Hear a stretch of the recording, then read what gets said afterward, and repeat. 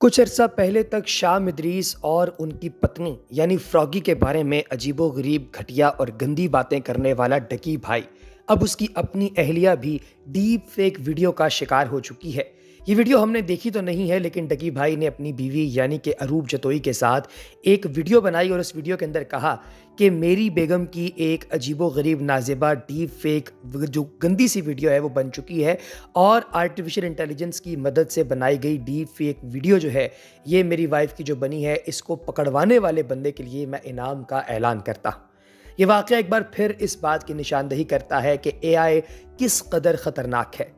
मारूफ Pakistani YouTuber सादुर Rahman अलमारूफ Ducky भाई की अहलिया अरूप जतोई भी डीप फेक वीडियो का शिकार हो गई हैं, जिसका इजहार उन्होंने एक वीडियो के अंदर किया।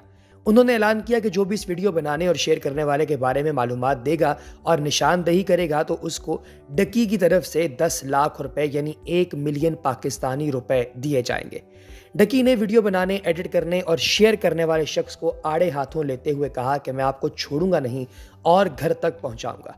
ये वाक़ एक बार फिर इस बात की निशानदेही करता है कि आर्टिफिशियल इंटेलिजेंस की मदद से बनाई गई डीप फेक वीडियोस सब के लिए इंतहाई ख़तरनाक हैं। ऐसी वीडियोस बॉलीवुड के अंदर भी कई दफ़ा बनी हैं और बहुत सारी मरूफ अदाकाराएँ भी, जैसे कि कतरीना कैफ, इस तरह की वीडियोज़ का शिकार माजी में हो चुकी हैं। उस दौर में लोगों को ज़्यादा पता भी नहीं होता था एआई का लिहाजा उनकी रेपुटेशन तो बहुत ही ज़्यादा गंदी हो गई थी। लेकिन डकी के केस के अंदर मामला कुछ अजीब हैं। कुछ लोगों का मानना ये भी है कि शायद ये सारी की सारी वीडियो जो डकी ने बनाई है, ये इसलिए बनाई है ताकि रेलिवेंट रहा जाए और असल में कोई इस तरह की वीडियो ना बनी है और ना किसी ने देखी है। कई लोगों ने यह भी कहा कि जब तक डकी भाई ने सबके सामने आकर सोशल मीडिया पर इस बात का इजहार नहीं किया कि उनकी बेगम की कोई वीडियो बनी है, तब तक किसी को यह पता तक नहीं था कि कोई वीडियो है भी इस तरह की या कोई इस तरह की तस्वीर है। दोस्तों, इस बारे में आपकी क्या राय है, कमेंट सेक्शन में ज़रूर बताइएगा। अगली वीडियो तक इजाज़त दीजिए। अल्लाह हाफ़